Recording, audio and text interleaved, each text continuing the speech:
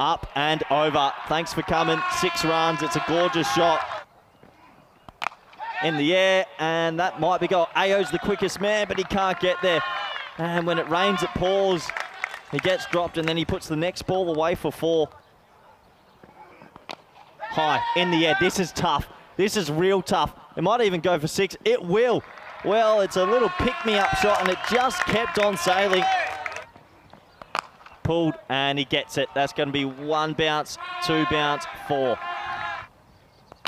And it won't stay on it for very long because that is absolutely mullet. I think that's gone all the way. I'm going to call it Maximal.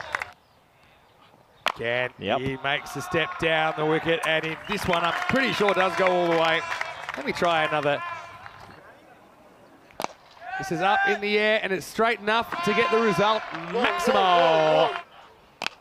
This is cracked through the Shot. offside. There's nobody back there. You mentioned only four in the offside, so a few gaps as Van der Merwe races to 47. All right, he wants Shot. his 50. He's going to get it, and he's going to do it with power. And what a day he's having. The big players step up when the pressure's on as Jason Van der Merwe goes back-to-back half centuries on Group F Finals Day, and he takes Osbeck down over mid-wicket. He gets a full toss and he bangs it. He puts it the other side of the fielder. It's four more. A slightly slower ball and goes over the fence as well. Maximarks and crashes into it. The fielder went right back. He put the two hands up. And he might need Oh. more than that to deal with this assault from Van der Merwe, who lifts this up again over the leg side. Maximal. Gets one. Oh. That's about as big as it gets. And that is flying over the trees. I mean, that one's a ah. 16.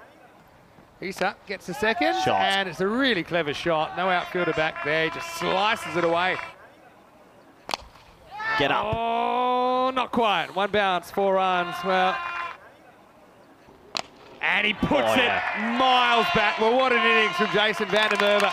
Stand up and applaud for this Irish opening pair. He'll finish on 95 not out of 30.